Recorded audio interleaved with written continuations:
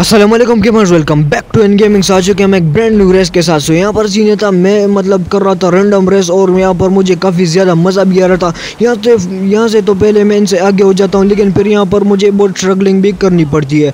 और यहाँ पर यार, आप चेक पॉइंट पर चेक पॉइंट देख सकते हैं कि मैं लेता हुआ जा रहा हूँ, मुझे काफ़ी ज़्यादा मज़ा भी आ रहा है, और काफ़ी गाड़ी स्लिप भी हो रही थी सो इसलिए मुझे मज़ा भी बहुत आ रहा था, लेकिन काफ़ी ज़्यादा तेज़ भी ये गाड़ी जा रही थी। बाकी ये रास्ता बहुत ज़्यादा टफ था, और मुझे मतलब इतना कोई ख़ास मौका नहीं मिला।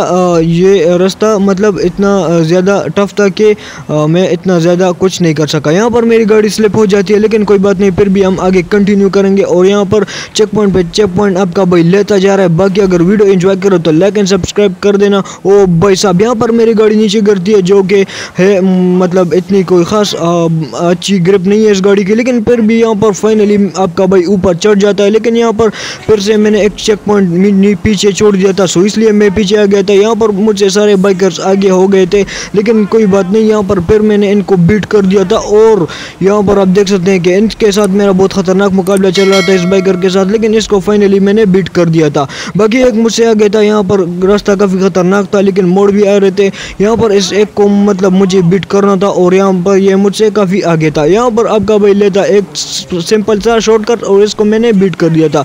ये भाई फिर भी मुझसे आगे हो जाता है, लेकिन फिर भी आपके भाई ने इसको हरा दिया था। लेकिन यहाँ पर आपके भाई ने सारे चेक पॉइंट भी ले लिए थे, इन सारे बाइकर्स को हरा दिया था मैंने यहाँ पर। बाकी अगर वीडियो के एंजॉय किए तो लाइक एंड सब्सक्राइब कर देना। यहाँ पर आपका भाई इंशाल्लाह जीतेगा इस रेस को, क्योंकि मैं सबसे आगे हूँ। सो फाइनली यहाँ पर हमें दिख चुका है फिनिश लाइन और इनशाला मिलेंगे नेक्स्ट किसी वीडियो में।